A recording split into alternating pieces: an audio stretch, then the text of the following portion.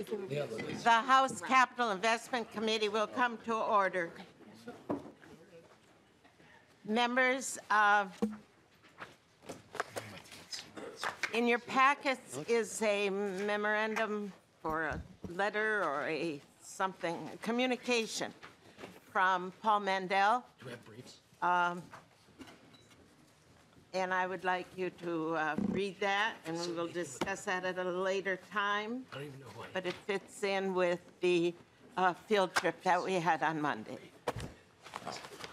Uh, The first item on the agenda today is a welcome to Pelican Rapids uh, and Representative Nornes. Please begin. Good morning, Chair Murphy. Pelican Rapids is in Otter Tail County and one of our beautiful cities that enjoys uh, a lot of tourism in the summertime. And uh, so I would like to, because of a shortage of time, I won't go any, in detail on the bill, but I have Amy King here from Pelican Rapids who will uh, represent the committee that's been working very hard on this project. Good morning. Thank you so much for your time. I appreciate the opportunity to come and present to you this morning. As uh, Representative Norton says, my name is Amy King. I'm here representing the City of Pelican Rapids and the Pelican Rapids Pool Committee. I am here to seek funding to bring a state-of-the-art, family-friendly, friendly, multicultural aquatic facility to Pelican Rapids in the larger regional area. To give you some background, Pelican Rapids is a rural west central Minnesota community, and we're very unique for our ethnic, cultural, and religious diversity that we have in our community. We have over 14 languages spoken, and over 55% of our population is represented by non-European backgrounds. 22% of our community lives below the poverty line, which is much higher than the national average of 14%. Our pool committee has been working towards this new multicultural aquatic facility that would serve Pelican Rapids in the larger regional area.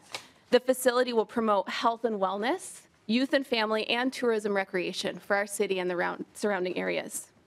Our current pool that we have was built in 1978, and it has reached a point of structural deterioration that is no longer reparable.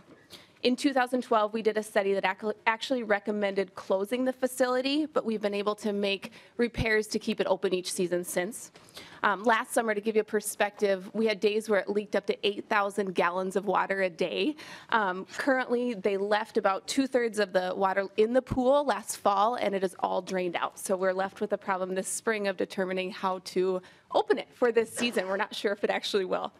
Um, the Pelican Rapids Pool serves as a, a recreational hub of activity in our summer months. If you come see, in 2018 alone, we had 2,500 patrons, which actually equates to the population of our rural community at the pool. Our city campground also sits adjacent and is regularly full, and the pool is one of only two outdoor water facilities in all of Otter Tail County, pool, public pool facilities. So there's a wide regional draw that comes to use our facility.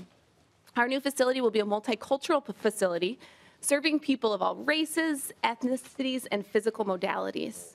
Recreational facilities are proven to promote interaction and exchange and work toward making diverse communities more livable and inclusive for all families. And they allow interaction among our cultural groups to start young as they jump into the pool and grow into adolescence and adulthood. So it's so common at our pool in the summer to see many varying nationalities. It's so fun to see. And we want to create and continue that safe space for interactions to foster and grow. So Pelican Rapids is so eager to continue building an inclusive, welcoming community. And this pool is a safe opportunity for us to do that. I am really proud to say we've already raised $1.73 million of our $3.7 million budget, and we have another 500,000 pledged in matching funds that we're working towards.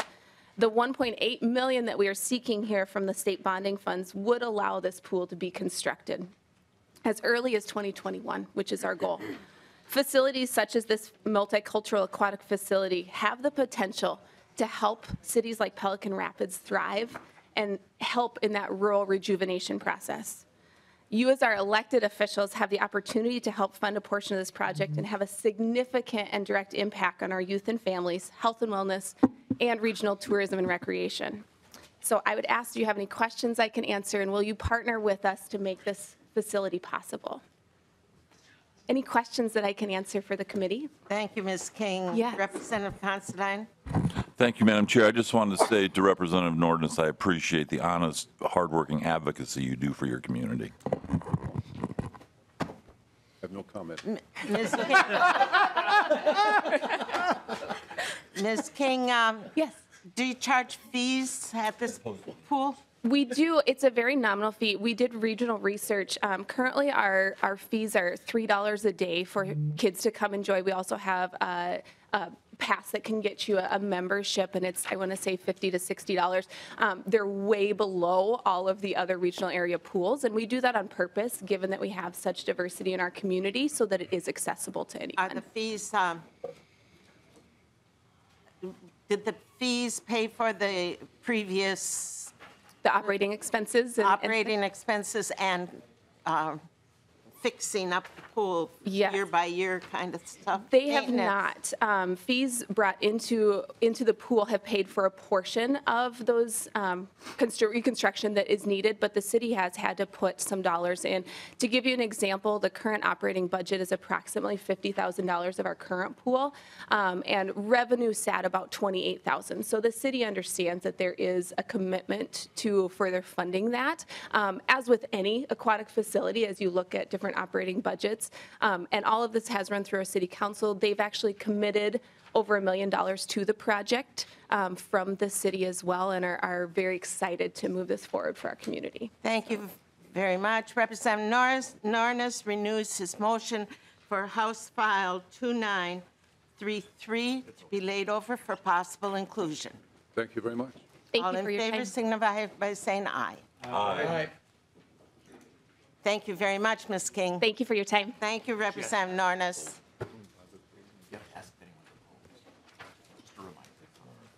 Thank you. Thank you. Representative Drazkowski, I will move that House File 3017 be considered for possible inclusion. Please begin. Thank you, Madam Chair. Madam Chair, I'd like to thank you and uh, Ms. Nash for your help in, uh, in offering to uh, have this hearing today. With me is Brad Drenckhahn, who is a mayor of Zumbrota. Uh, has a, a road that used to be a state road that was turned back, and it was not brought up to city standards. So, Ma- Madam Chair, I'll turn over to Chair Drenckhahn. Madam Chair, members, thank you so much for your time this morning. Zumbrota's busiest and most important city street is Jefferson Drive. It was built in 1934 as an original section of US 52. When the highway was expanded in 64, 52 was made into four lanes and moved about a quarter of a mile to the west where it sits today this section of Old 52 or Jefferson Drive, if it's about two miles, is the project that we're here to talk to you about.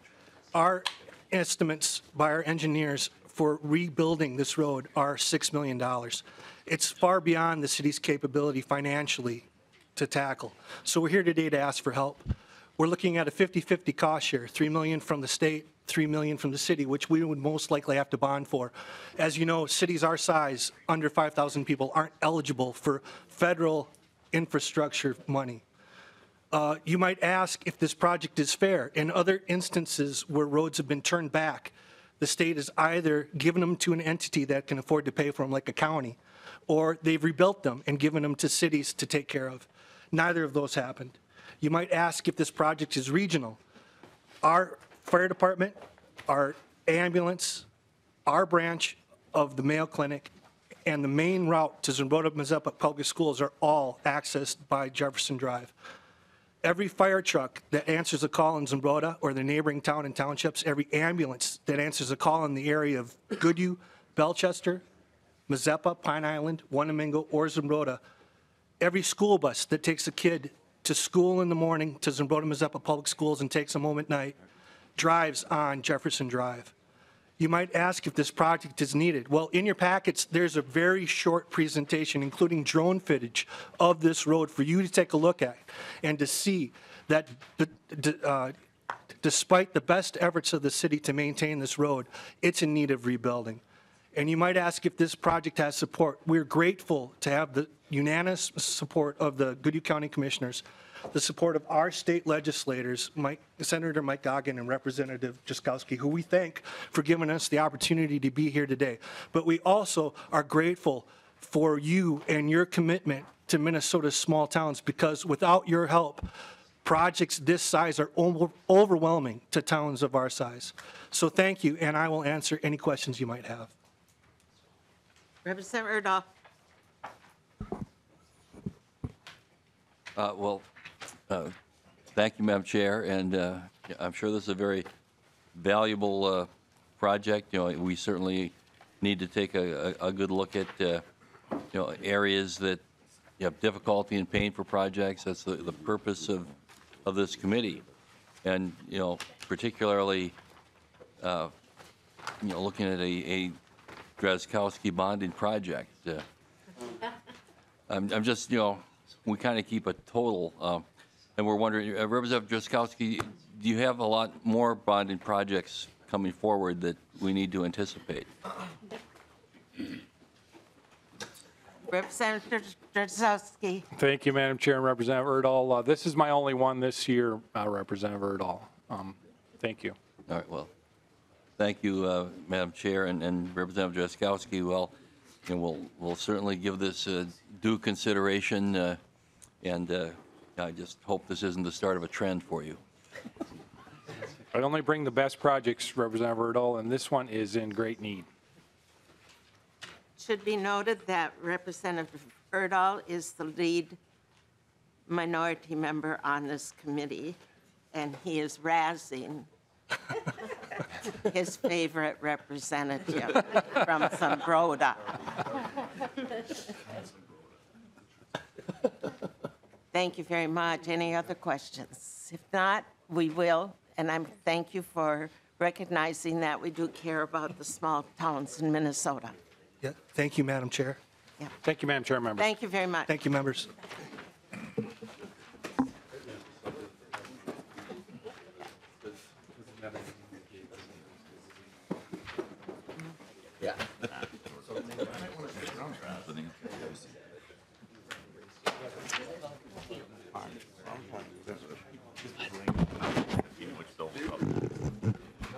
What, what, who are these?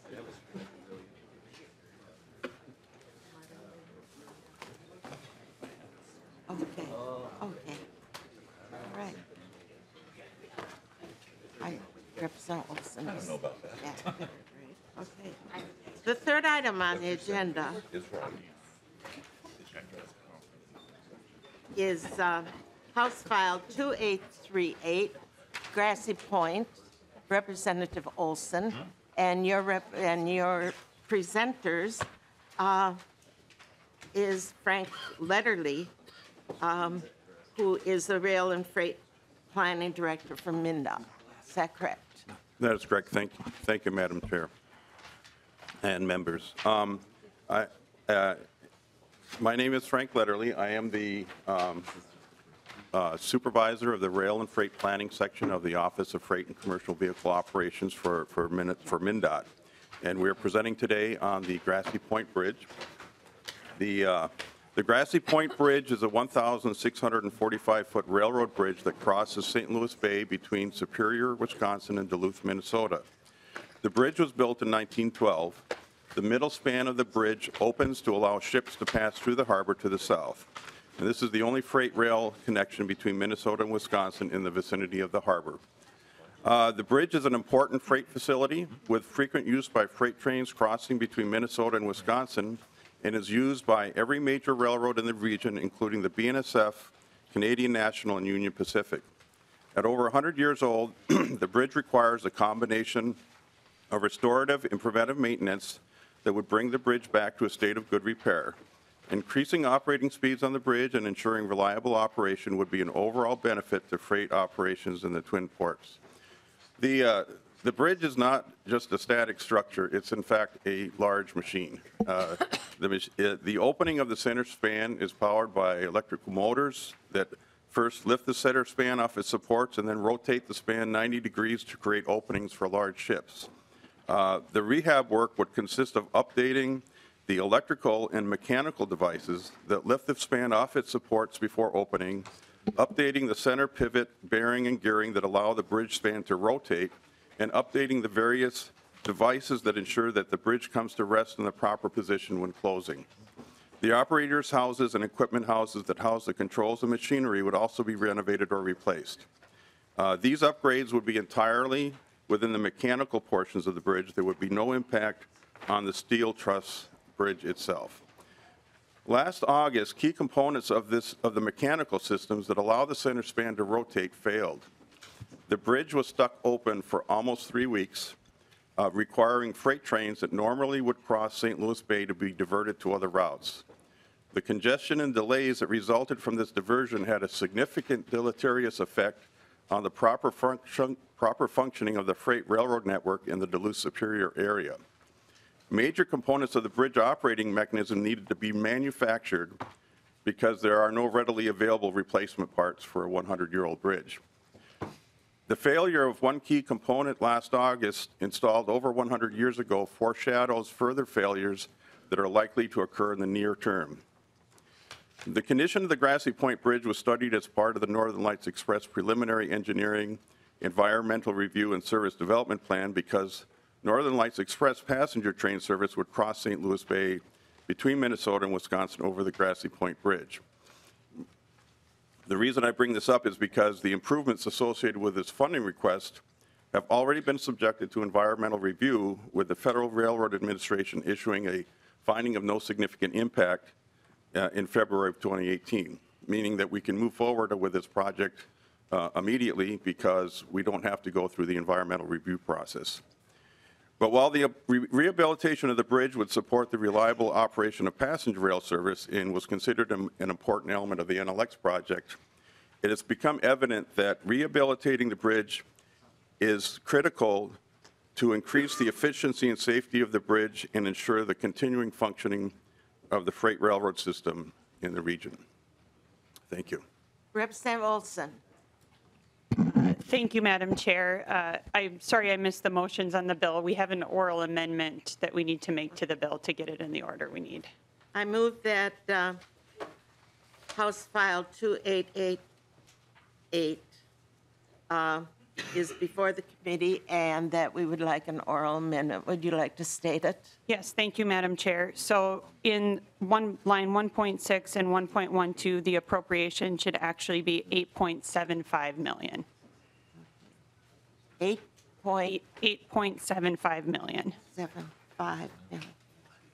That's a better number That's, than we I have. assume you like amendments like that in this committee. We, we approve of those. It's House File 2838. I move the oral amendment. All in favor signify by saying aye. Aye. Opposed?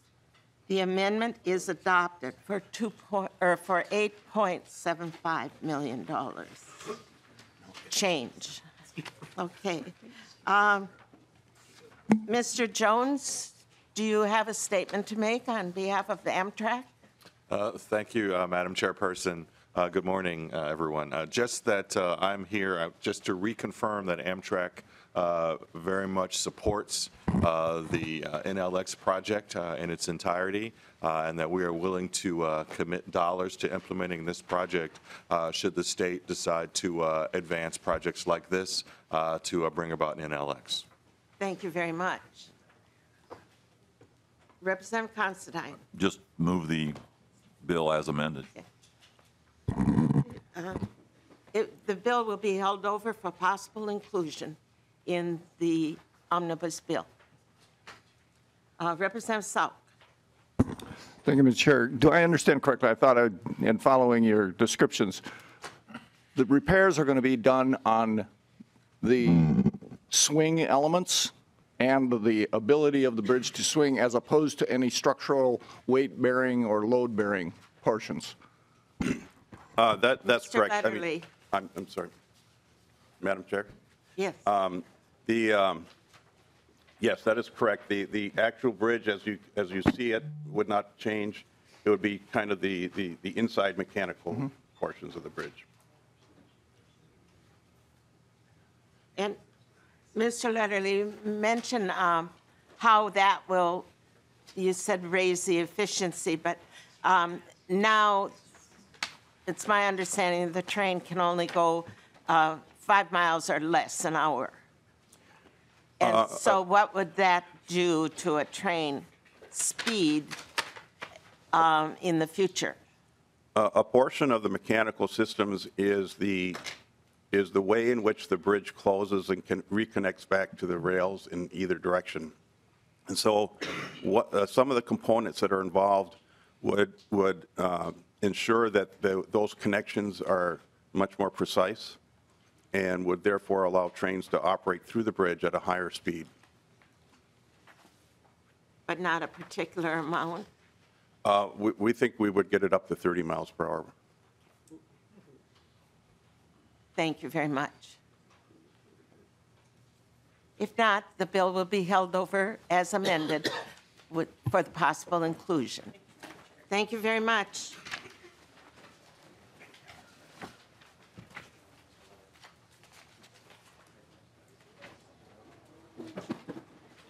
House File 2888. Oh, where I was.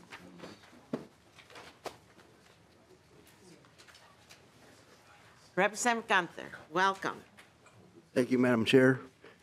It's my privilege to uh, be here again. And it's our privilege to have you here. Damn right. Please begin. Okay. Uh, 20 years ago, Representative Henry Kalis and I introduced a bill for the Lake Crystal Rec Center. They raised a lot of money themselves. I remember attending many ice cream socials and everything else. And uh, to uh, introduce the bill and tell you what they really want, Ryan Yonkers, or Yonkers, is here from Lake Crystal, and he can tell you what they need. Dr. Yonkers, welcome. Thank you, Honorable Chair, members of the committee. I thank you so much for the opportunity to speak with you today. I've served as the Executive Director of the Lake Crystal Area Rec Center for the past eight years. 25 years ago, this group of people came together with a plan to create a community and recreation center to serve south central Minnesota, to be located in the city of Lake Crystal. Between individual and business donors, um, as was said, many millions of dollars was raised, were raised, and the state saw fit to contribute $1.5 million to complete the funding to make sure this project happened. Together, we built a facility with an amazing swimming pool where we hold uh, swimming lessons for toddlers to adults, water aerobics for seniors, many family-friendly events. Our gym, uh, walking track, fitness center are accessible 24/7 to members, and our multi-purpose gym holds uh, events year-round which attract people from Fairmont to St. Peter, from New Ulm to Owatonna. Staying true to our mission to serve all, we offer membership scholarships so that anyone may access the rec center regardless of ability to pay. From our fully accessible pool to wheelchair basketball to free lunch and learn events for seniors to free family events, we balance our fiscal responsibilities with our mission to serve. Finally, we partner with all three of our local healthcare providers uh, to provide wellness and nutrition education, to provide on-site physical therapy, we partner with our community, uh, community education and local schools to share gym space, to share programming, and we aggressively pursue grants which have made a significant financial impact. The city, the city of Lake Crystal contributes over $200,000 a year annually to operations, and Blue Earth County contributes another $30,000. We have successfully operated and maintained this facility for 20 years, but now there are a number of large, expensive capital projects which just much must be addressed. Uh, the, these are mainly the main HVAC unit for the pool, which is inefficient, been repaired repeatedly, uses a now obsolete kind of coolant. Uh, our uh, roof project, which has been also patched repeatedly after 20 years of shrinking and cracking, and our pool deck needs to be resurfaced. Our request is for $375,000. We estimate the whole project to cost about $550,000. The city has already committed $200,000 towards this project, so we do have um, uh, local funds. But uh, the cost of these improvements represents a heavy financial burden all at once to the city of Lake Crystal. I would argue that the state made a wise investment into a regional resource 20 years ago that has paid back in measurable and immeasurable dividends of health and wellness and quality of life. Although this is one of the smallest asks you will hear before you, I will tell you that I think it will make one of the greatest impacts, and it does for the people of this region. and I ask for your support. Thank you. Representative Urdahl. Uh, Thank you, Madam Chair, and uh, as someone who might have a a similar project uh, to this, I'm I'm curious as to uh, what, when you built this in in 2000 and the state uh, contributed 1.5 million, uh, what what was the total cost then? So, Madam Chair, Mr. Youngers. it was uh, approximately $5 million. So nowadays, probably 20, 25 million. Uh, Thank you, uh, Madam Chair. And uh, I'd like to, uh, you know, commend Representative Gunther for, uh, you know, his uh, early commitment to this project uh, and for uh, continuing to represent Lake Crystal so well. Thank you. Even though it's not in my district? Oh, Really? Uh, who- Representative Sandstede. Madam Madam Chair, who who represents Lake Crystal? I think Representative Munson does. Representative Sandstede. Thank you, Madam Chair. Did you say the city was contributing $200,000 to the project? The- Madam Chair, Dr. Youngers. correct, uh, they have allocated up to $200,000. Thank you. Anything else? Representative Considine. Thank you. I'll make it very quick. I have also attended multicultural events in this facility um, in the past too. Played Santa Claus for an Asian American kid. It's a secret. I don't think they're here. Madam Chair? Dr. Youngers.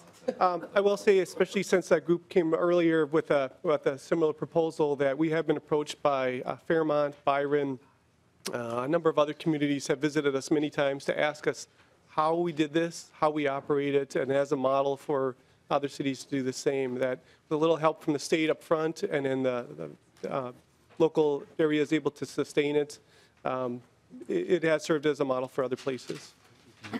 Uh, Re- Representative Gunther, um, would you object if, um, when we're considering this, if we change the line uh, 1.11 on your bill because of the $200,000 Oh, offer that we've received? Is that, I, I don't have a copy of the bill here. It says that it does not require a non-state match, and you, Yes, uh, I would not object to that. I know they have anticipated contributing to the project, and uh, they have not asked for the full amount. They've asked for approximately half. 375,000, yes. All right, with, with that, Representative oral Considine? Do we need an oral amendment? No, we don't. Thank you. Not at this time, because we're going to hold it over for possible inclusion. Which leads me up to, since you're mostly all here at this particular moment, in your minds, next week, we're, we're going to start the process of, rather than expanding the number of projects under consideration, we are going to start thinking about and talking about discussing condensing the number of projects. And that's going to be built, build, we're going to build on that in the days to come. And so you should be in your own minds and making lists of various categories of for sures, not so much. And the process that we used last year to appoint. And so start thinking about that. I'm giving you a fair warning, so you won't be shocked. But we cannot continue uh, adding more and more things to the agenda. We're going to have to start narrowing it down. And isn't it wonderful that you were here for Lake Crystal today because we didn't start narrowing down yet. Thank you very much, Madam Chair, and thank you, members. I appreciate your consideration of this project. Thank you for coming, Dr. Yonkers. Thank you, Madam Chair.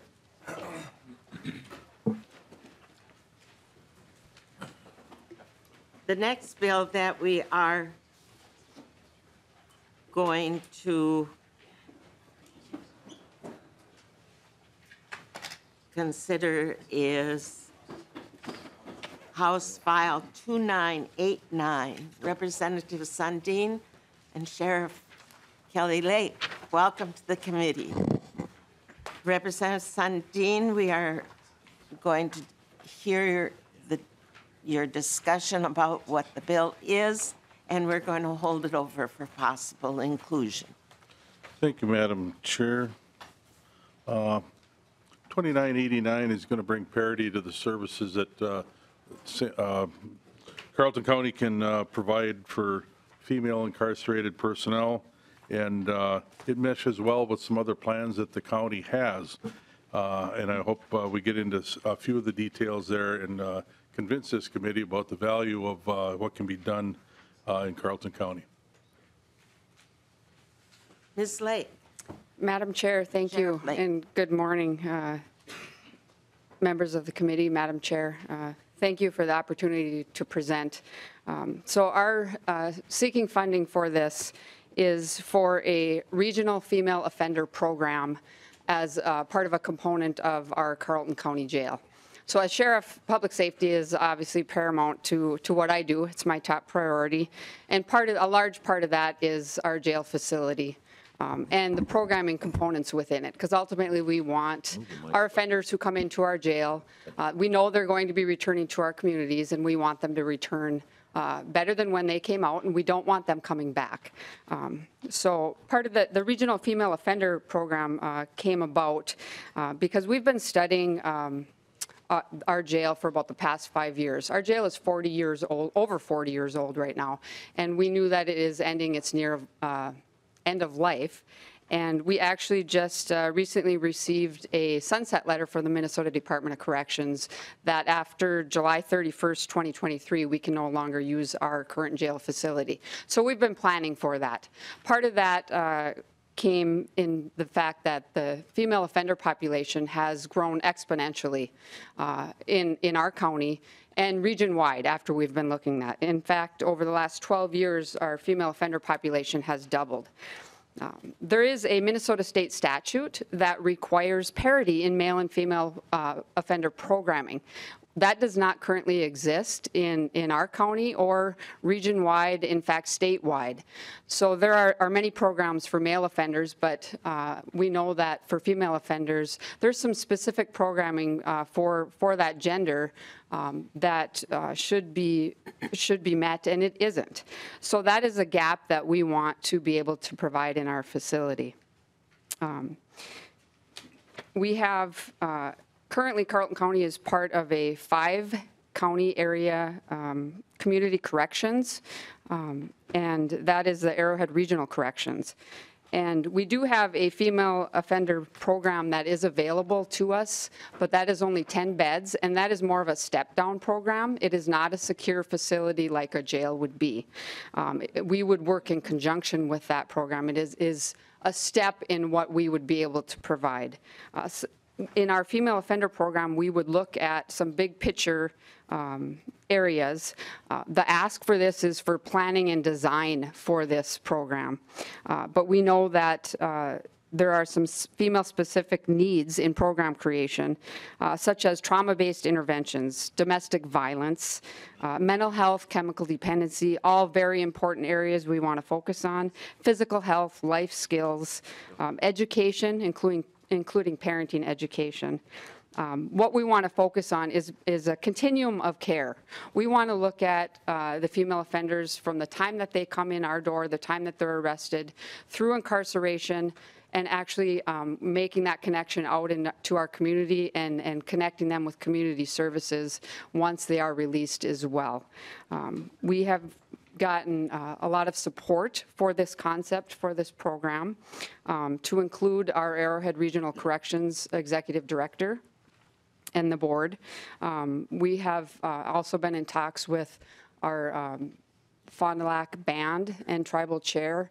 Um, He is also very supportive of this concept. Um, Our, our current jail uh, makeup of our inmates is approximately 30% Native American. Um, So that is a- another very uh, important component that we want to consider and that we do consider in planning for this and designing this. Um, we also have, uh, I have spoken with Department of Corrections Commissioner Schnell, who is here with us today, uh, in support of this program concept, uh, because uh, there has been uh, obviously recognized gap uh, and a need for this service for the female offender program. We also have uh, support of our 6th Judicial District Chief Judge, and also St. Louis County, who is uh, the largest county in our Arrowhead Regional Corrections, again, has noticed the, uh, and recognized the gap and the need for this female offender program. So we are really hoping uh, that this funding would allow us to be able to do some comprehensive planning and design work around this so that we can provide that uh, programming, uh, which is much needed for these offenders. Thank you very much, Representative Dean. Thank you, Madam Chair, and uh, th- this sounds like a a really, really important project for the region, and I'm curious, has, you guys know how many beds you're looking at trying to design for? Is that part of the pre-design process, or are you sort of on track? Obviously, the facility you have currently is inadequate, and you're trying to uh, make do through other facilities, but if you could just talk a little bit about what that is. And one other additional question, can you talk about the sort of the makeup of, what type of offenses generally of the women that would be, you know, um, using the facilities? Sheriff Lake. Madam Chair, thank you. Yes, so we, in, in our design, all the planning that we've been doing the last five years, um, we have identified uh, an approximately 84-bed facility for our current jail that we would need. And within that, we were looking at um, a 24 to 30-bed female-specific um, program regionally. Again, part of our design would be to, to really uh, get down in the details of exactly what that would look like, um, how many, and what uh, programming would be within that.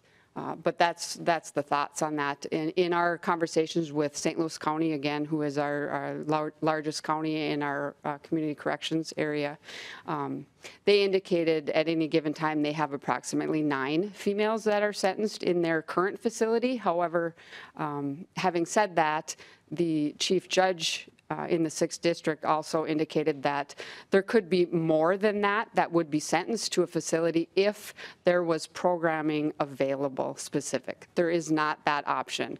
There's, there's local jail with not a lot of programming uh, contained with it, or prison.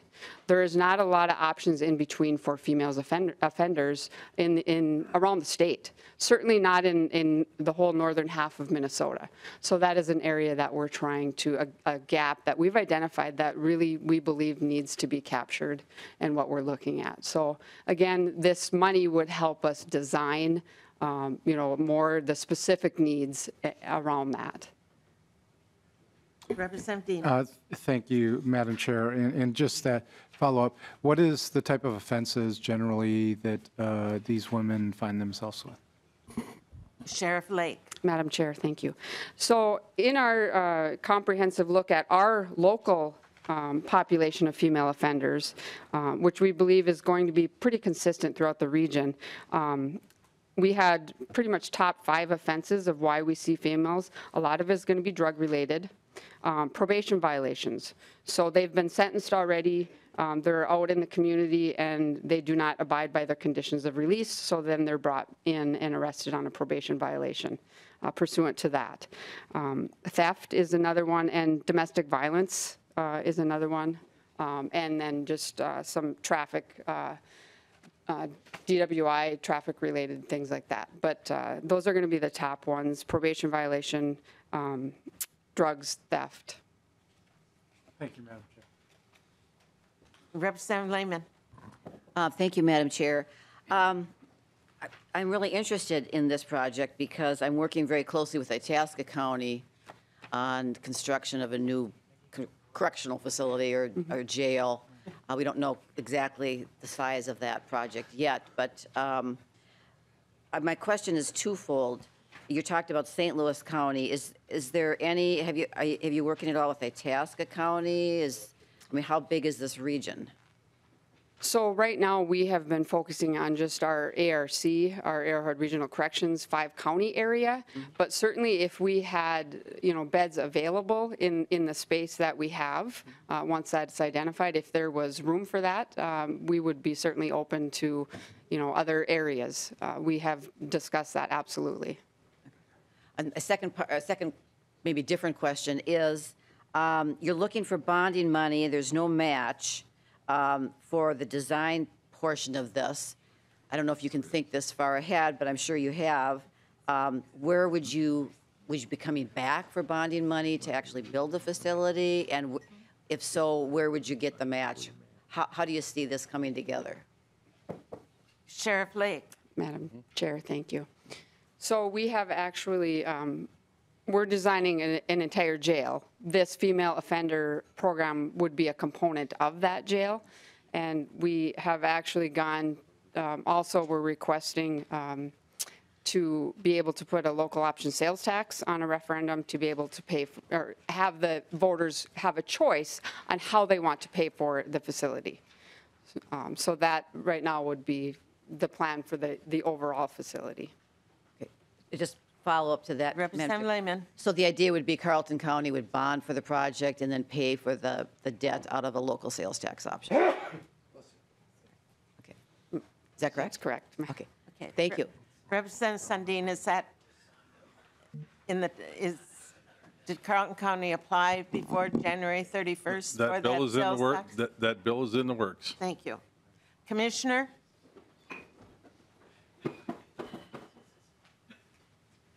You have a brief comment to make, and I understand it has something to do with your comment that you made before when we were talking about when one state agency regulates a county or what happens.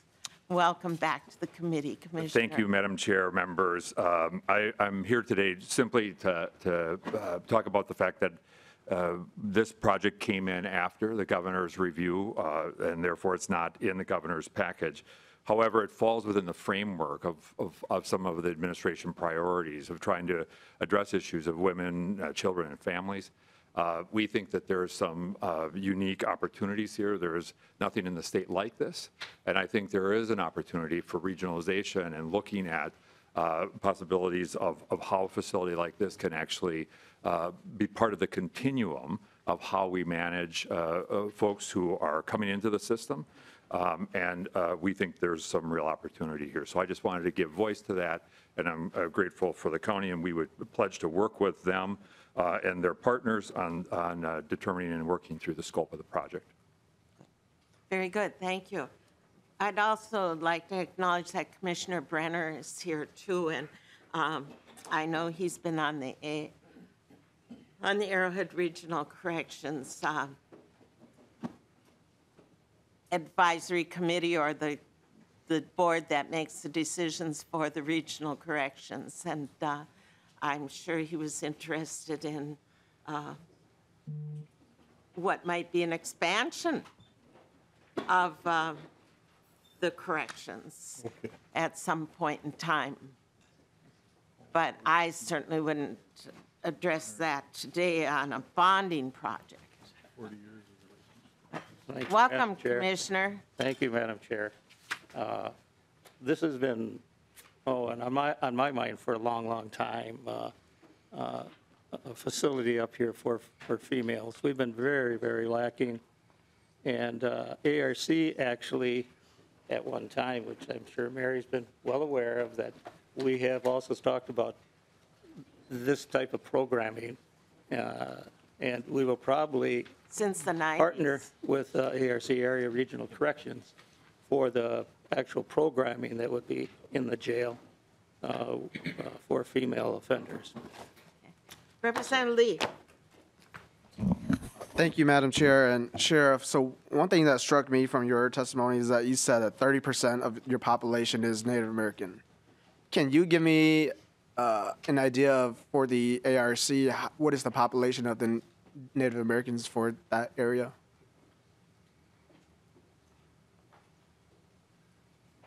Uh, For, for the entire region, the, not the jail the- incarcerated population, but the general population. Madam Chair, the general population. I would not be able to give you specifics, and I would hate to guess on that.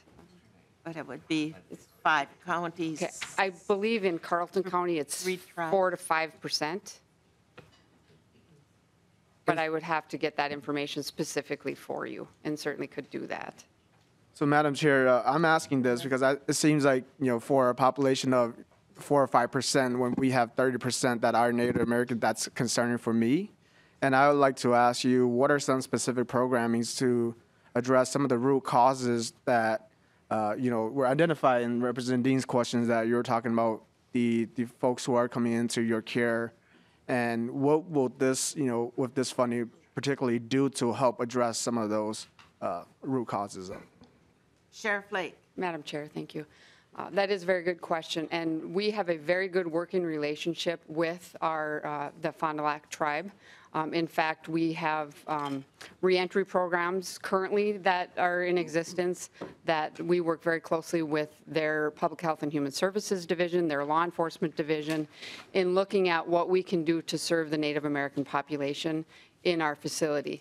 Uh, They actually come into our jail and, and provide some of our program, al- programming already currently, and we hope to expand upon that. In fact, um, in speaking with uh, Chairman Dupe, um, we have discussed uh, looking at, through this design process of, of our facility, ha- having space incorporating uh, Fond du Lac staff right within our facility um, so that we're, you know, making sure that we are providing culturally um, appropriate programming and what is, you know, directed to the needs of the Native American population, not only while they're there, but also, again, that continuity of care, that continuum of care out into the community is very important to us. Thank you very much. We will hold this bill, um, House File 2989, over for possible inclusion. Thank you, Madam Chair, and a special thanks to the tes- uh, testifiers and uh, team that came down from Carlton County. Yes. Uh, It's a group effort. Thank you. And it's only because you traveled so far that we allowed more than one speaker. We can drive around the block to get more time. That's all right. That's all right. Well, Thank you. Thank you, Madam Thanks so Chair. much for members of the coming. committee. Thank you. I was at the grand opening of the new jail 40 years ago, or 42 years ago, because that was my district at the time.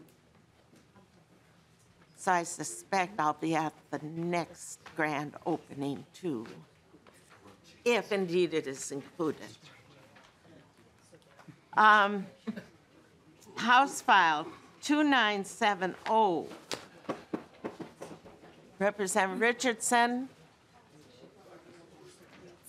Commissioner Atkins. I observed earlier, Representative, former Representative Atkins, that you use this as a social hour and meeting old friends or former friends or reacquainting yourself. It's nice to be home, Madam Chair. Thank you for coming. And uh, I just have Joe Atkins' name on my agenda. And Commissioner, or who else? is- I have Representative Richardson. Who else? Madam Chair, we have the Mayor of Inver Grove Heights, uh, George Tourville, joining us today as well. Okay. Welcome. Please proceed. Thank you, Madam Chair. House File 2970 is seeking $5 million for the Veterans Memorial Greenway project in Dakota County. Dakota County is home to more than, than 23,000 veterans, and this project would create a five-mile paved route that would be the lo- longest greenway in Minnesota dedicated to honor the service of our veterans. In addition to the memorial for our vets, parents, students, teachers, and administrators in the districts are also champions of this project because it will also serve to increase safety in our community. Currently, there's not a safe and accessible route to connect po- popular parks and natural areas across uh, busy Highway 52 and also Pine Bend Elementary School. Uh, Today, I have former state rep and uh, Dakota County Commissioner Joe Atkins to speak briefly about the project.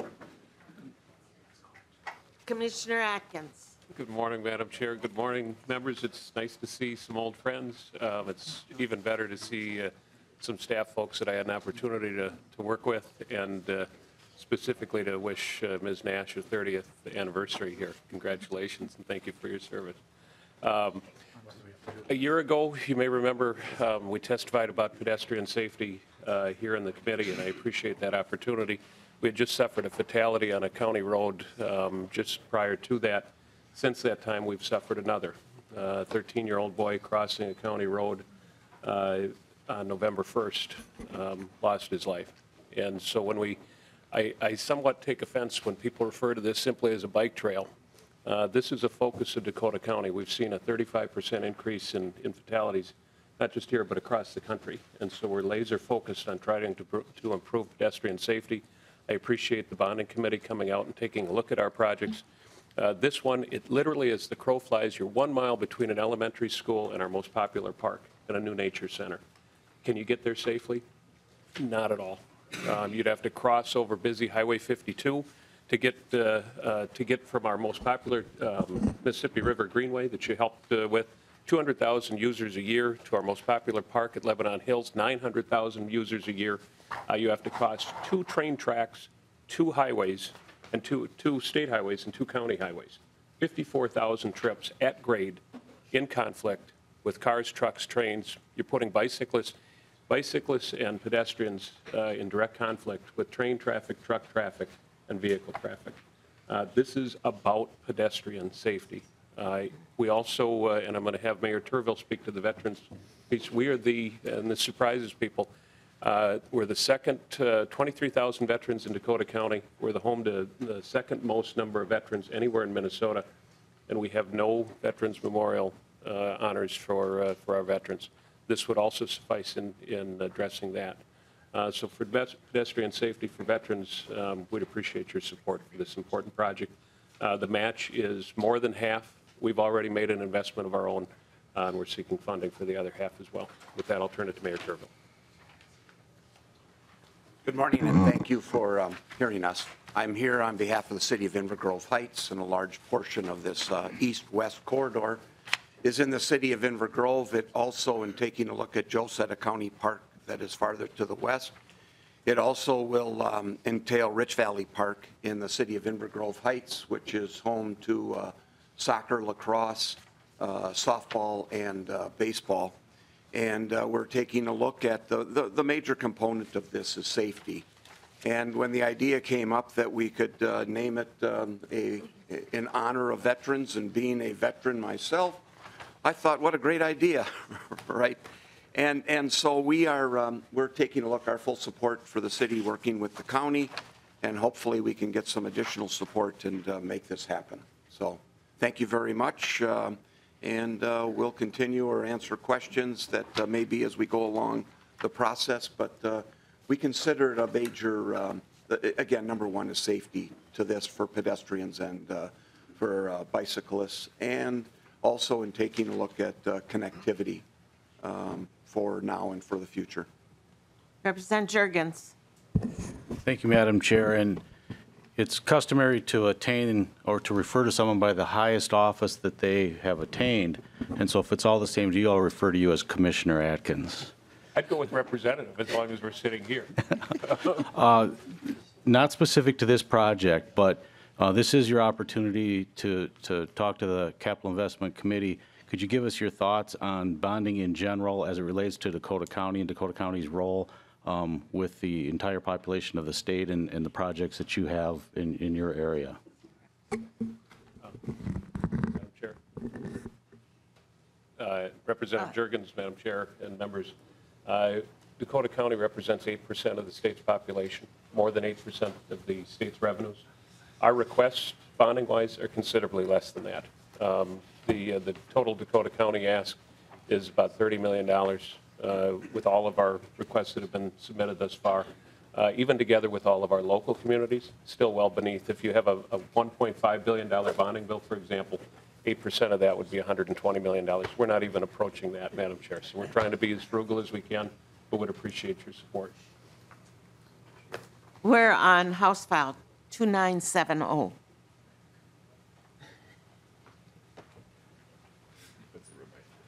Thank you very much. Thank you, Madam Chair and members. This bill will be held over for possible inclusion in the omnibus bill. Thank you.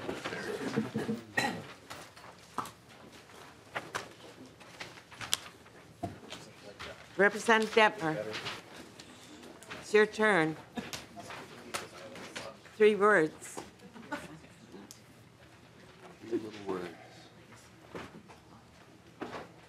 House File 3189, Representative Dettmer, you have a short Short and, su- short and sweet, Madam Chair. And again, uh, yeah, you're right, just three words. Uh, We're actually amending um, laws, uh, 2017, First Special Session, Chapter 8, Article 1, Section 15, Subdivision 3. And uh, again, uh, if most of you have traveled from the Twin Cities up to our great North Country, you've passed Forest Lake. And uh, it's a great place to stop on your way north. And, um, but the interstate uh, highway that coming, going right past Forest Lake, we put in a new bridge in, in, on 97 and the interstate. And uh, I- I- today, I'd like to, uh, you know, introduce uh, Mayor Preiner is here, Jesse Preiner is here from Columbus, the city of Columbus, and the county engineer, Joe uh, MacPherson. I'd like to have him just share some, maybe some history of this uh, project and how it's going. It's almost finished up. They have some work to do on the lights and, and also uh, some other road work there. But uh, this project, uh, we started on working on this in 2015, and it passed in 2017. So we'd like to turn it over to uh, county engineer. Thank you, Representative, and thank you, Madam Chair and members of the committee. I'm happy to be here. I appreciate the opportunity to present this information to you today and just give you a summary of where we're at.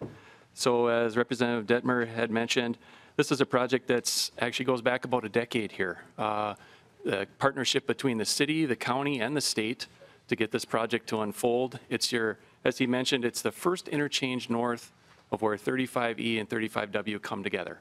So it's that first interchange. If you've been through there recently, the diverging diamond interchange, which is one of very few in the state, is almost fully constructed. We're almost there, so we're excited about that.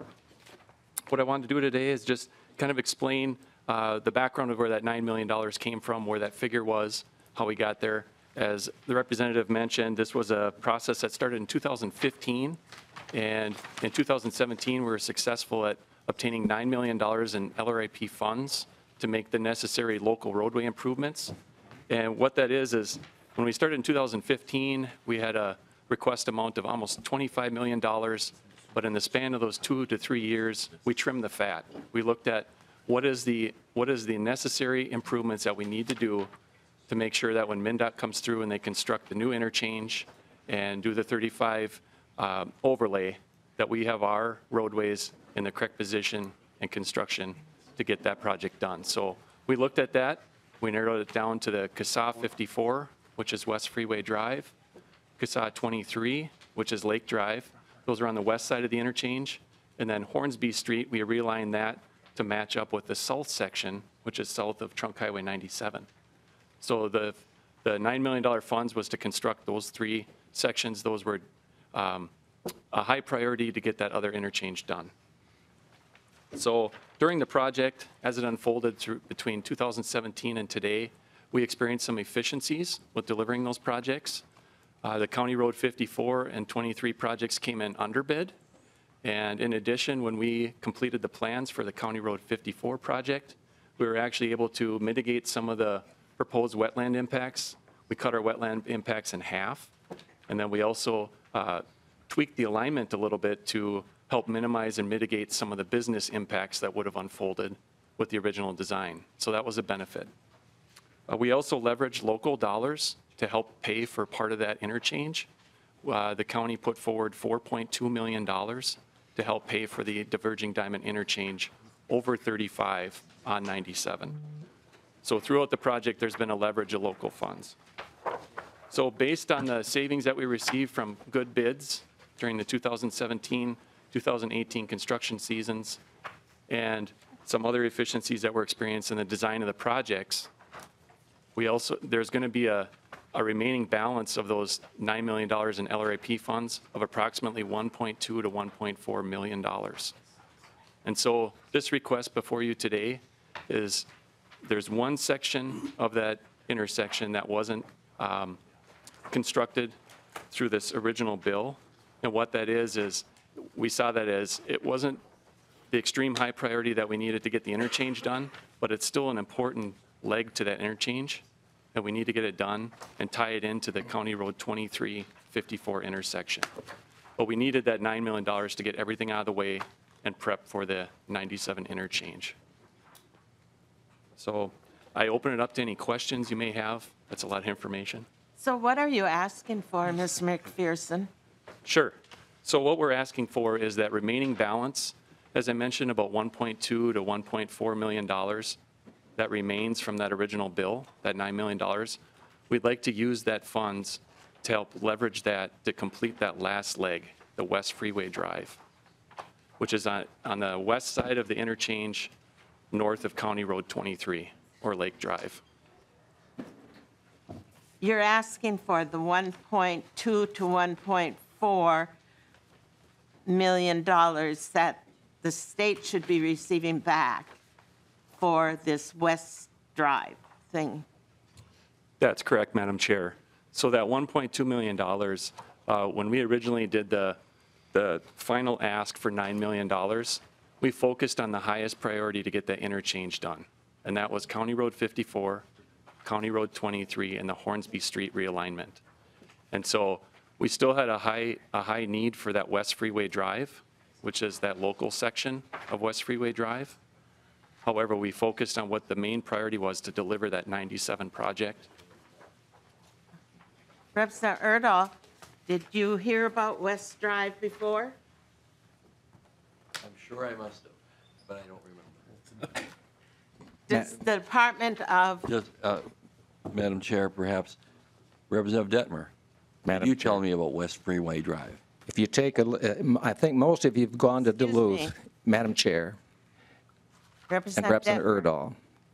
Uh, If most of you have gone to Duluth, you know the- that big project that's been going on in, in the Forest Lake area. where- where It's the re- resurfacing of the freeway there, the split bridge, the bridge going to Highway 8, and then that Highway 97 bridge. And what we're looking at, I carried the bill in 2017. It's not in my district, but most of the traffic comes from Washington County. And that, those different the part that we're, we want to finish, if you talk to the public safety people in both the Columbus, Anoka County, and Washington County and Forest Lake, that's a big part of this project. And we didn't think that uh, the $9 million would have done that, but now that there's, a there's money left over, we want to use it to finish the project, so it's done. I know the school district, a lot of buses come across the freeway there. That, that type of, that stretch of road is important, that it can serve the Columbus, the city of Columbus, to get things done the right way. But Representative Dettmer, yesterday when I came through Columbus, on my way back here from the caucuses, I saw this big empty eagle's nest in a tree.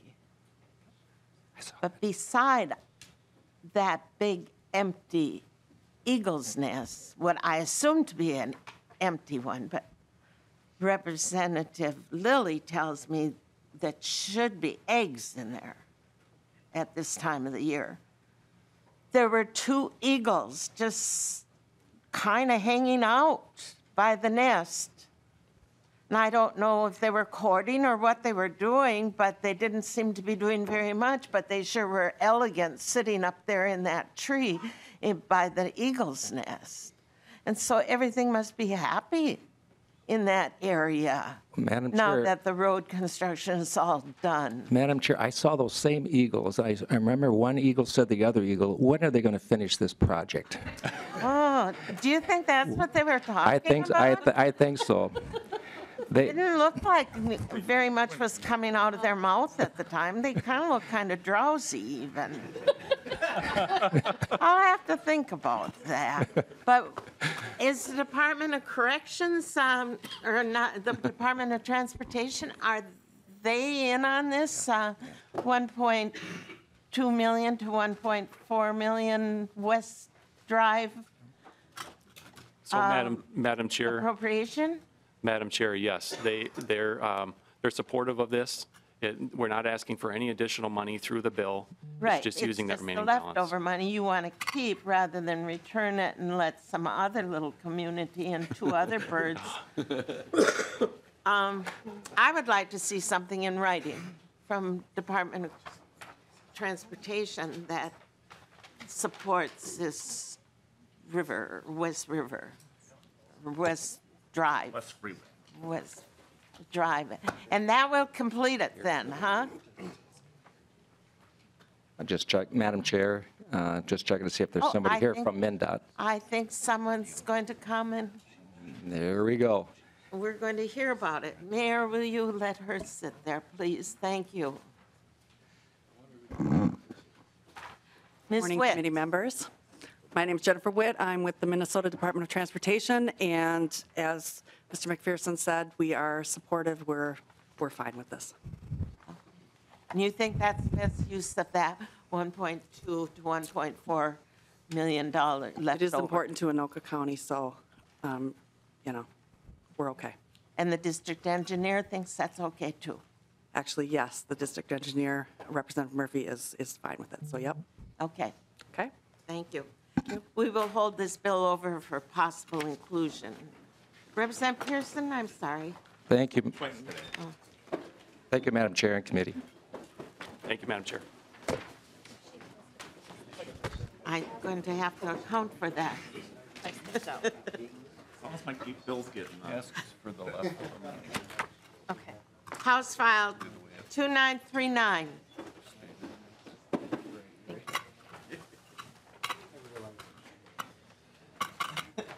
Representative Tabke, Scott County. Welcome to the committee. We will consider this bill that's before us and hear it and hold it over for possible inclusion. Representative Tabke. Thank you very much, Madam Chair and members. Uh, Representative Tabke from uh, Shakopee. Today we have three different bills um, into the Capital Investment Committee that uh, we're seeing this summer. They've all three gone through the MMB process, and we're really proud to bring them forward as three projects that uh, the county and the city have been working on for a really long time. Uh, that we'd like uh, state bonding assistance in getting them completed. And the first of the the three projects we're going to talk about today is a uh, major connection from Carver County to from the land of Greg Boe, Representative Greg Boe, to uh, Scott County. And so it's uh, in an amazing area along the Minnesota River called the uh, Louisville Swamp, and it is the entire Minnesota River in the southern metro has incredible park area, incredible natural areas, and this would add access between Carver County and Scott County and make major regional trail connections. So this is a 2.12 miles of paved trail. It has four bridges. It would cross uh, the Minnesota River in an uh, area where a former rail bed was. And so we are really excited to have uh, today with me a uh, Scott County Commissioner to uh, discuss the regional and statewide impact of the project and why this is important. Madam Chair. Commissioner. Thank you, Madam Chair and Committee. My name is Barb Weckman Brekke. I'm a Scott County Commissioner. Uh, excited to be here today to talk about the Merriam Junction Trail. I grew up in this area, and Madam Chair, I can let you know there are a lot of eagles and eagles' nests in this area. Um, and I think those eagles would like to see some uh, development down there. Uh, This trail is truly a regional, regional trail. If I were sitting in your chair today, I'd be wondering, why, why are we being asked to uh, support this 2.12 mile trail? That sounds pretty local. It's not. This is a major connection between Scott and Carver counties and into the whole region. Uh, You're familiar with our area. You know we have that wonderful natural resource, the Minnesota River there, but that wonderful natural resource makes traveling and crossing very difficult. So that's why we're here. Both Scott and Carver County have already made significant investments on either side of the river.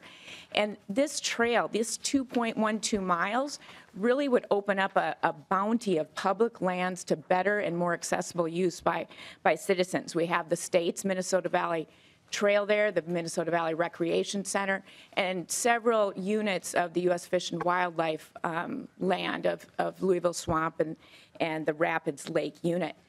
I think number two is you look at the price tag here, we're asking for 9 million with a county match of a little over 5 million. It's because of those bridges. You all know bridges are expensive. We have one uh, large rail bridge that collapsed back in gosh, 2007. I remember that. I live very near to this area. And then three other bridges that need retrofitting. So this is the kind of project that's hard to do um, with local, just local dollars.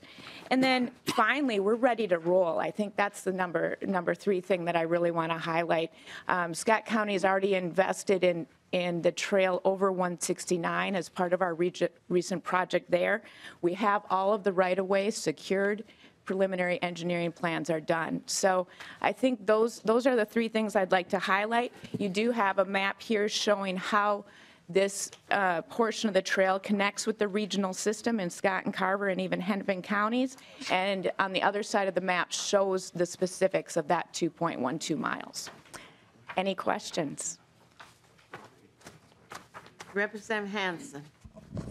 Thank you, Madam Chair, and uh, Representative Tabke. Often when we do trails, uh, sometime in the process, the question comes up whether they should be paved or not paved, particularly it seems when we're in the Minnesota River Valley. Just wondering uh, what those convers, if those conversations have been held, um, if we're, if we do this, are we going to get uh, some drama at some point about whether they should be paved or not paved? Representative Tabke. Madam Chair and Representative Hanson, uh, I don't believe there will be any drama come up with this. We have a significant portion of paved trail uh, through Shakopee that this will, uh, this doesn't connect directly into the paved trail, but we have a significant portion along the uh, Highway 101 and along the Minnesota River that goes uh, from Shakopee and across the Bloomington Ferry Bridge into Bloomington and then up into uh, the Fort Snelling area, and this goes all the way down to St. Peter and Mankato going the other direction. So this makes a, major trail connection and connects uh, as well the, um, Scott County has already finished, if you look on this side of the map, there's already a section that has been finished that was already done during a current road project that Scott County is uh, in the middle of currently. And so this would connect a uh, paved section here to the paved, uh, excuse me, to the paved sections that are in downtown Carver. And Madam Chair, as well, we also have an amendment that I need to uh, get for the bill. Amendment 39A1. Move the amendment. Representative Constantine moves the adoption of the amendment, and what does it do, Representative Tabke? Uh, Madam Chair, the amendment uh, fixes a uh, drafting error that we had uh, for the county match for, for the matching for this project. Uh, It has the, the draft has 36 million as the match, and it should only be uh, 5.838 million. And so that fixes a technical error there, which is a pretty big technical error. Pretty big. Yeah. So you want that to be 5,838,000. Yes. Okay. Any other amendments? Not for me. All in favor of adoption of the amendments signify by saying aye. Aye. Opposed? Amendment is adopted. Representative Sandstede. Thank you, Madam Chair. Um, Just a point of clarification, you said you already have approximately 5 million committed from the cities? Madam Chair, oh, I'm sorry. Commissioner. Madam Chair and committee members, yes, uh, from the county. The county match would be that 5.8.38 million. Thank you. Any other discussion? If not, we will go on. Thank you very much, Thank you Madam. very much. The amendment, or the bill as, bills as amended will be held over for bill. For possible inclusion.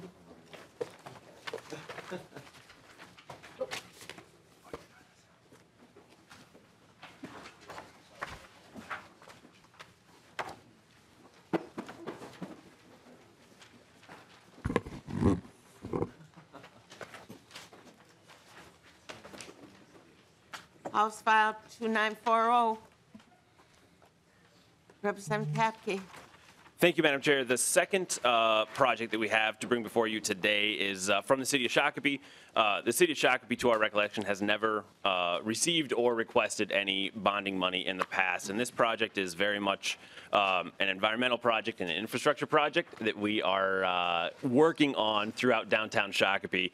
And uh, the Minnesota River is moving, as rivers have a tendency to do. The Minnesota River is moving, and it has, with the recent over the last decade, we've had a significant increase in the number of flooding events in the Minnesota River uh, through downtown Shakopee, and that has uh, created major issues uh, with our infrastructure. And so the uh, um, the river bank uh, has encroached upon the downtown area, and we need to work on the stabilization of the riverbank. And at the same time, we are working on uh, with many partners on building a coalition to create a cultural corridor. So this has a significant history uh, in Minnesota history with the Shakopee, Mdewakanton, and Sioux community and uh, the Dakota co- community. And so we have a letter of support in the packet from the Shakopee, Mdewakanton, and Sioux community um, for uh, for this project in creating a cultural corridor that reflects the history of the area because it has significant history. And uh, Madam Chair, I have uh, uh, Mr. Michael Kerski from the city of Shakopee here to discuss quickly the infrastructure impacts that the moving that the river has moved over 50 feet over the course of the last uh, 100 years and uh, encroaching upon our historic downtown. Director Kerski. Madam Chair and Representatives, so the river's um, inundating the area on a regular basis now. It used to be every few years. Now it's every year. And our main sewer line that we inherited from the Met Council runs through this area. We project that we'll lose another 50 feet on each side of the riverbank um, by 2060. That will impact all of that infrastructure. Um, It's bad enough right now, the state trail that runs through this area actually collapsed into the river and we had to move it. So the river is encroaching quickly. That's 100,000 cubic yards of dirt that's going downriver into the Savage area. That's 6,000 truckloads, to put it in perspective. So it's a, a lot of dirt. The plan is to stabilize that riverbank, and then, as Representative Tabke said, work with our partners in actually uh, relocating part of that state trail, and then working to preserve a lot of the cultural um, antiquities that are in that area that right now are going into the river. So you're asking for what appropriation? Madam Chair, the uh, request uh, specifically is for 11,753,000 for uh, riverbank stabilization and uh, the creation of the cultural corridor in, uh, that is working in conjunction. Uh, The, the local matches on these are between working with the city, the county, as well as the Shakopee and Sioux community, Three Rivers Park District, and a variety of other local partners in getting this done. How much of the trail would be relocated? Uh, Madam Chair and Representatives, so um, the section that runs through Huber Park and then along some of the Shakopee, Mdewakanton, Sioux area would have to be relocated because right now it's underwater for a good part of the year. And so that does not allow either bike or pedestrian access through that area, so that we locate it up to higher ground. And Mr. Kerski, is that feet or is that miles? Uh, Chair and Representatives, it would be uh, miles. Like how many? Um, There's approximately three miles of trail between Huber Park and the landing, so probably about 20 to 30% of that would have to come out of the current floodplain. So So one mile? probably, yes, Madam Chair, about a mile. And Madam Chair and Representatives, the last piece, um, all of this property along the river is either owned um, and controlled by either DNR, the city, or the Shakopee Mdewakanton Sioux. The city did acquire outside of this project the last 14 acres on the riverfront um, at the end of last year that were privately held. So now it's all controlled by public entities or the tribe. Thank you. Representative Urdahl. Thank you, um, Madam Chair. Uh, Representative Tabke, do you- do you know, uh, have there been in- in cons- in consultation with DNR about this at all, or is there any uh, flood mitigation dollars that can be used? I will let Mr. Kerski answer that, if that's all right. Mr. Madam Chair. Kerski. Uh, We have not had the flood mitigation discussion with the DNR, but um, for years, this area has been, in it. they have participated using some federal money. We lost the pedestrian bridge that's um, between the uh, Memorial Park and the DNR Trail, and we've been working for, I think, six or seven years to get that replaced and participating with the DNR. The Shakopee Mdewakanton Sioux community, the county and the city have raised funds to replace that bridge but it's been a, a long and somewhat painful process. So we would like to really get this bank stabilized. Um, For those of you that took the tour, it's no longer a bank, it's more of a cliff, and it's only going to get worse um, as we have these constant flooding events. Representative Dean. Uh, Thank you, Madam Chair, and I don't know if this is for uh, Representative Tabke or you, Mr. Kerski. Um, So, so you're going to be doing some stuff to the river at this point and uh, trying to sort of, what I say, circumvent what is a natural process, because that's what happens. And I'm curious, in the, the design of the project, has there been much extensive study on the impact sort of uh, downriver uh, as far as what, what it's going to do to water flows or other types of things? Are there other areas of erosion that may be, you know, increased or exacerbated as a result of this? I'm just curious to what extent this study has gone. I'm, I'm- I'm, sure it wasn't something that was looked in isolation, but I'm curious about some of the, uh, the extent of the initial study. Madam Chair and Representatives, um, the, the goal is not to make matters worse downstream. I think one of the issues is, over the past 100 years, the river has eroded over 100 feet. And as I said, it used to be, um, back in the 1850s, it was a pretty natural, gentle, gentle slope down to the river. And as I said, now it's more of a cliff. Um, Our consultants have projected putting that gentle slope back and removing a lot of the invasive species and large trees that have grown up that have created um, a lot of the flooding events and actually allowing the water to come up into the area much more naturally um, and creating kind of a natural floodplain that doesn't exist today, so it would not be eroding the bank. So it would actually allow kind of a larger area to flood. And they've built into the design some areas that um, would be able to kind of more purify and, and when the water came up into them, it wouldn't have as much damage as we're experiencing today. So I think we will resolve those engineering problems and design problems and make it, I think, a much better situation than we have today. Thank you, Madam Chair. Okay, Thank you very much. We'll hold this over for possible inclusion. Thank you very much. House File 2941. Thank you very much, Madam Chair. This is uh, the final project we're here to discuss today, so thank you very much for uh, allowing us to put these together here. And um, You've got a minute. I will make it very quickly. So you see a theme with our projects of uh, uh, access to the Minnesota River and making sure that we are uh, recognizing that history. And so this project, when 169 was built through Shakopee in the 90s, it was not built with pedestrian connections throughout the community. And so we have a three and a half plus mile section of, uh, of highway that is not accessible from uh, the south side of town across the highway to the industrial park as well as to the river uh, area. And so we are asking for uh, a project that was both uh, included in the governor's bonding bill um, to create a pedestrian bridge over 169 to bridge that gap of three and a quarter miles. And I have uh, Risa Husted, who is here today, and she is an avid biker, and she works uh, in the biking industry, and she uses this area all the time and wants to talk about the regional impact, if you will, Madam Chair, of this pedestrian bridge. Ms. Husted, Thank you, Madam Chair. I, um, I commute by bike year-round, and I just want to emphasize how important this kind of connection will be for the area. Not only is it going to be the only way to get across 169 for several miles if you are on a bike, but it also represents the only pedestrian crossing of 169 east of, um, east of the city center.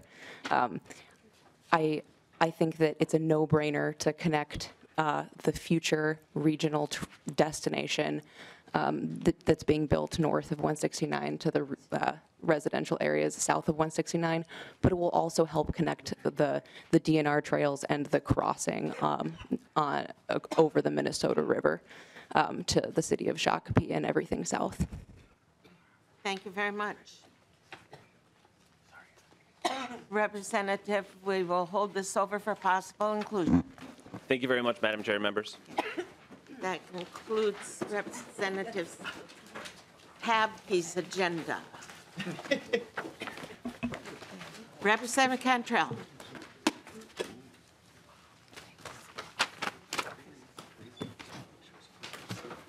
Ms. Freese.